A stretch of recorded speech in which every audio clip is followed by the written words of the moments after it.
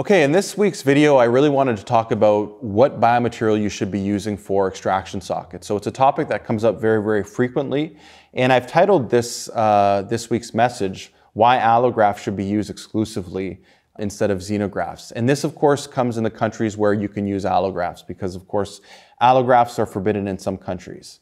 Now, when we look at this little chart here, this is coming directly from uh, the Next Gen Biomaterials textbook. When you actually put a grafting material, such as an allograft or xenograft, into the extraction site, typically the particle size is around the same thing. Okay, typically people are trying to get you know the three, four hundred uh, microns up to 1200, let's say, into these sites. The difference between the two, of course, is that the allografts are resorbable.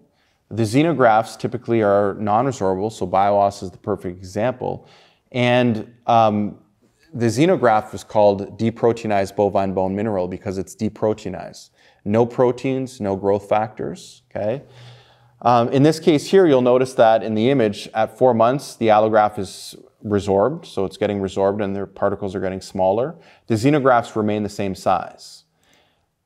The difference between the two now is when we create these osteotomies, so we start cutting through bone, we're gonna cut through some of the particles that are left over, okay? If you pack uh, any of these grafts, you're going to naturally cut through some of these particles. And then when your implant goes in, the one difference is that we're looking for bone implant contact. So in a perfect world, we want you know good bone to implant contact, so BIC.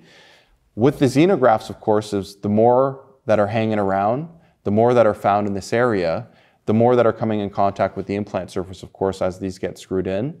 And the more over time, they just never go away. Okay, so the advantage here with an allograft is that one year later, the allograft is completely resorbed and gone, the implant's integrated. With the xenograft, the xenograft is going to be there long term. And of course, if you ever have any type of peri-implant related issue, uh, such as peri-implantitis, you know, those particles, they never go away and bacteria can grow on them, etc. So this is not really an area where you know clinicians recommend using xenografts. Of course, this is not to say that xenografts should not be utilized. They're utilized for many different procedures, such as sinus grafting, uh, contour augmentation techniques, bone augmentation, etc.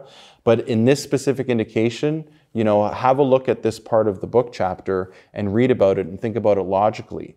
Ideally, with what you want with these implants is good bone implant contact. And what occurs with these xenografts is because they never resorb, they're always there. Some of them are hanging around in these defects, and you don't get as good long-term maintenance of, of these cases.